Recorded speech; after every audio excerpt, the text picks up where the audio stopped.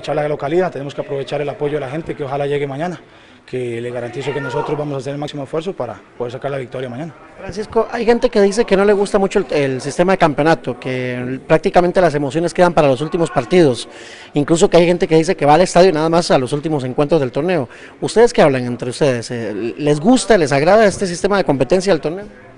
Es que si volvemos a ver a las ligas europeas es por puntos, entonces se pone, creo que es un poco hasta más intenso porque partido a partido va a ser una lucha, del último le puede ganar el primero y va a ser una lucha muy, muy tenaz. Estoy de acuerdo con mucha gente que dice que, bueno, al final de cuentas puedes perder varios partidos y clasificar y, quedas campeón y listo. Entonces lo, los mejores partidos, por así llamarlo, y los más bonitos son las semifinales y final.